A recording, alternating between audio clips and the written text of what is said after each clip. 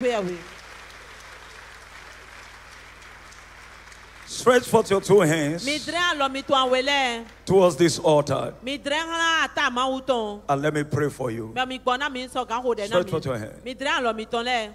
The Bible said he crowned the year with his goodness Enɔ yi dze gba kun dàgbé tɔnbɔ dɔnɔ do na and his part dropped fatness. Bɔn enɔ sɛ alimɛ tɔ gbɔn ali da ho dzi. I declare the name of Jesus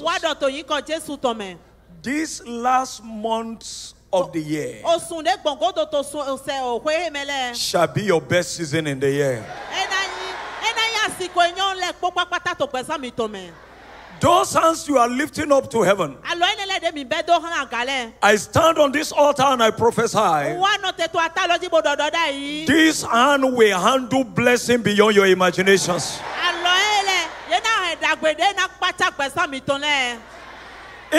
Ye lɛ yena hɛ dagbe ɖe na kpatsa gbɛsã mi tɔn lɛ In the name of Jesus. tɔnyi kɔ jésù tɔmɛ The Bible said, I am the God of all flesh. Is there anything too hard for me to do? bíbélì dɔ nye wɔ nyi mawu agbasalɛ kpɔtɔ bɛ ne fɛ awu na mi na do ba si wɛ ya I prayed in the name of Jesus. bɔn wa ko ɖe tɔnyi kɔ jésù tɔmɛ Whatever looked impossible to happen this year, ŋun de kpekpe ɖe fɛ awu bo na do dzɔ to hoe mɛ it will happen in your life this month.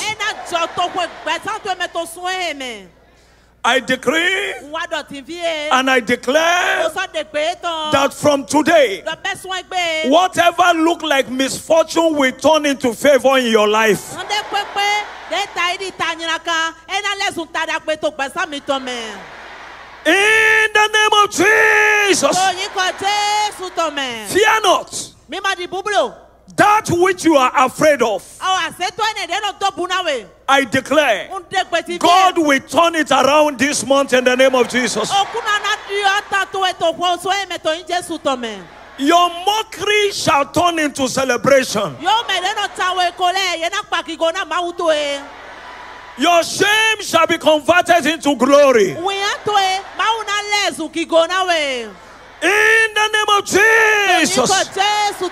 You are blessed. Mi wulɛ yi dɔnna nɔ. I declare Wa de gbeti the remaining days of the year they will not bury you. Azã de koto hoe lɔ mɛ lɛ mɛ ɖe ma na di we. The remaining days of the year you will not lose anything to the devil. Nu de kpekpe ma na bu do we bɔ satani na yi sɔ asi we.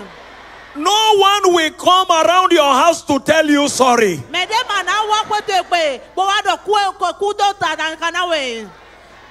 Anyone that come around you will be telling you congratulations. kpekpe ɖe na wɔ de we ku do ta da gbedza na se The year 2024 shall end with praise for you. o so o kɔ ehe na fɔ kpɔ do kpi kpa kpɔ kigo kpɔ na we In the name of Jesus. tonyi kɔ jesu